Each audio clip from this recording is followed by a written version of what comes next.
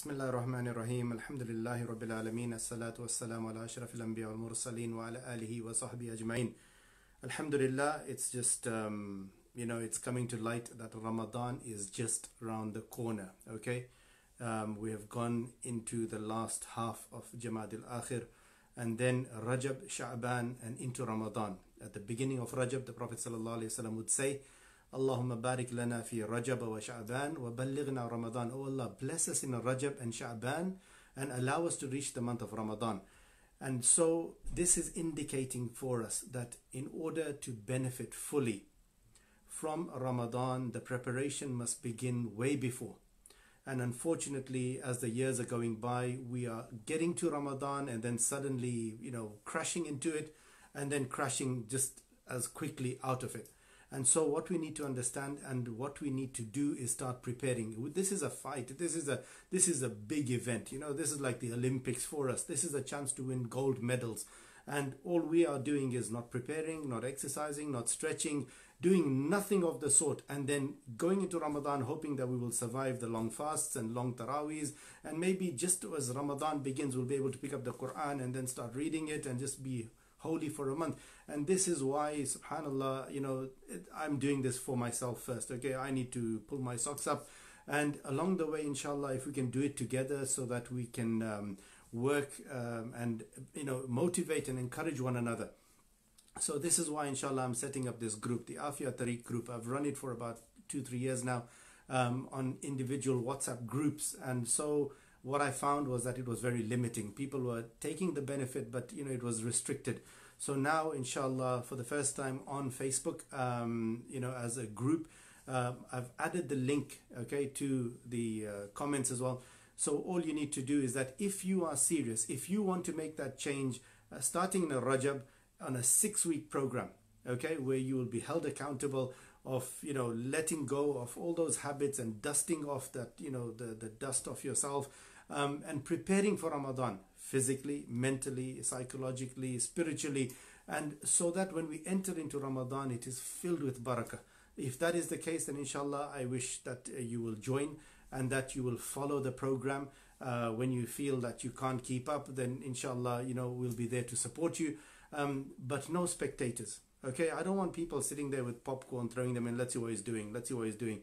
I don't have time for that. Okay, so if you are serious about your own preparation for Ramadan and for your families and for your friends, then I invite you to come along. Okay, and that way, inshallah, what will it consist of? It'll consist of the basics of getting your salahs in on time, and then it'll be your protection du'as on a morning and evening. From there, some dhikr, okay, because nothing happens without dhikr.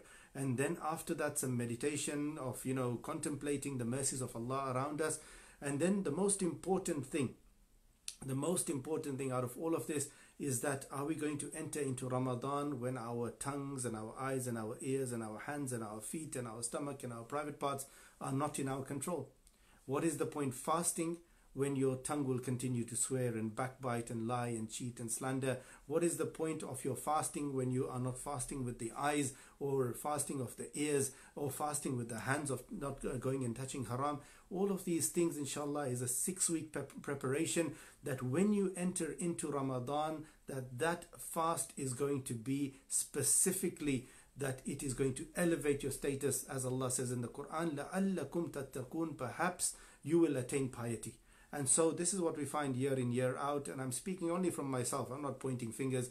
But that we enter into Ramadan, Alhamdulillah, we have a good month. And then suddenly on the night of the Eid, when the moon is sighted, we come crashing down again. Okay. And then it's downhill from there. So this is what we don't want. We want that inshallah from here we will start to you know become motivated. We might go up to like 70% you know positivity. But at least when uh, Eid comes, we don't come crashing down even if we are at 30%, 40%. So all of those and all of you that have um, done the Aafiyah Tariq groups with me, the one, two, three, four, five, whatever, um, inshallah, you're welcome to come and do it again. Okay, let's do this again and let's motivate ourselves, motivate each other. And inshallah, please uh, send your invites uh, to through your networks and allow for everyone to come through. And inshallah, may we benefit and may we may Allah grant us shifa wal afia and afia, holistic well-being.